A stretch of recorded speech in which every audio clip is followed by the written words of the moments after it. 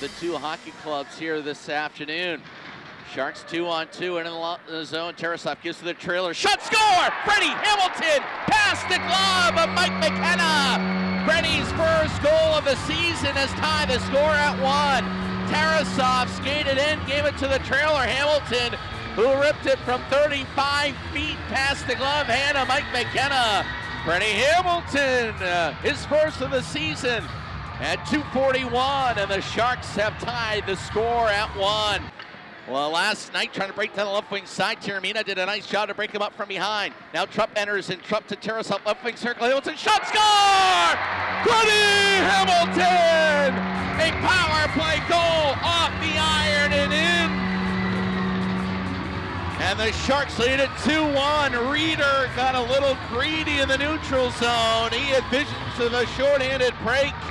The Sharks came back the other way. Trump to Tarasov, over to Hamilton, and Freddie drilled it. Eriah Hayes back from San Jose. Puck comes right side. A drive by Hamilton to flex wide. Now for the left wall shot. Evans Hauser. Rebound. Will score! Freddie Hamilton!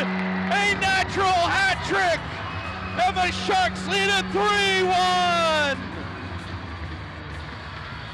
Well, it took six games for Freddie Hamilton to find the back of the net. He's got three goals here in the first seven to 53 of the third period.